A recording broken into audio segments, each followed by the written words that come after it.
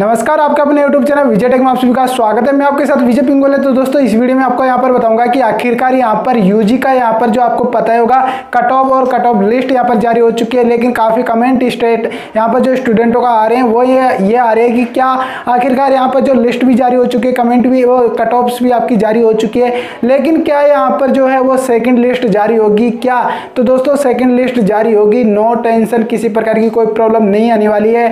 ऐसा नहीं है कि ये ये अभी फ़र्स्ट यहाँ पर जो है वो लिस्ट है। इसके बाद में जो भी सीटें अवेलेबल होगी या फिर जो फ़र्स्ट लिस्ट में जिनका यहाँ पर एडमिशन हुआ है, जिनके डॉक्यूमेंट्स वेरिफिकेशन अभी पता ही है कि चल रहे हैं एडमिशन चल रहे हैं। अगर इनमें से एडमिशन नहीं ले पाते और जो भी सीट बाद में बचती है, उनके लिए जो है वो आपके लिए वापस से सेकेंड लिस्ट निकाली जाएगी और जिन छात्रों का उसमें होगा तो उसमें आपका एडमिशन हो जाएगा। तो अभी तक सेकेंड यहाँ पर जो है वो लिस्ट जारी होगी।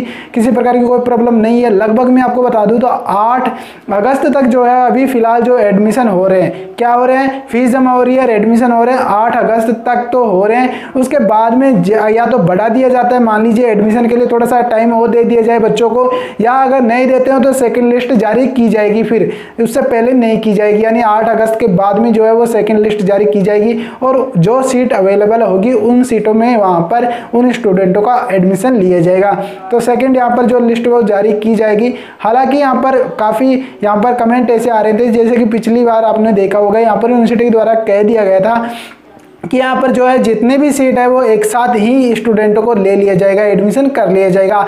जितने भी होगी सीट अवेलेबल होगी उनमें से। लेकिन दोस्तों, यहाँ पर कहना चाहूँगा वेटिंग लिस्ट भी जारी होती है। जो स्टूडेंट अभी एडमिशन नहीं ले पाएँगे या किसी कारणवश वो एडमिशन लेना नहीं चाहते, लेकिन नंबर आ चुका है तो उनकी सीट खाली हो जाएगी। एडमिशन के बाद में, पश्चात एडमिशन प्रोसेस के बाद में, फिर उसके सेकेंड लिस्ट यहाँ पर जारी की जाएगी, जिसमें वहाँ पर एडमिशन लिए जाएँगे।